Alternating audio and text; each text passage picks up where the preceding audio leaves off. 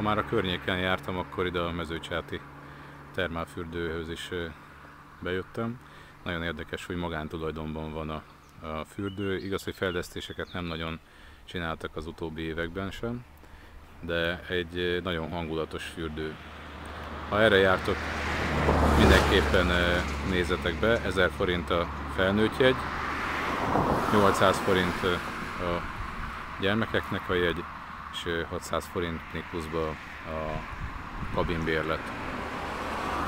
Nagyon érdekes, hogy csak úgy be lehet sétálni gyakorlatilag a fürdőbe, és van egy kis hely, ahol be tudtok menni, és ott lehet jegyet váltani, tehát ne jegyetek meg, hogy, hogy a kapunál nem vár benneteket senki.